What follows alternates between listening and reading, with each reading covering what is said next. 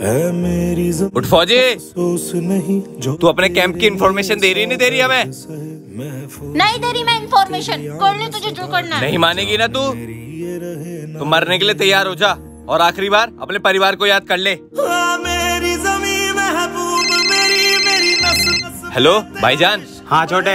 ये फौजी नहीं मान रही है। क्या करना है इसका? अच्छा एक काम कर मार दे फिर उसे। ठीक है भाईजान। अरे फौजी कहाँ गई? फौजी तेरे पीछे है। जब हम ये वर्दी पहनते हैं ना तो हम एक शपथ लेते हैं कि मर जाएँगे लेकिन अपने देश के साथ कभी गद्दारी नहीं करेंगे। और तुमने हम फौजियों को मारना कोई खेल समझ रखा है क्या? खून पसीने की मेहनत करके हम ये वर्दी पहनते हैं। मार अब।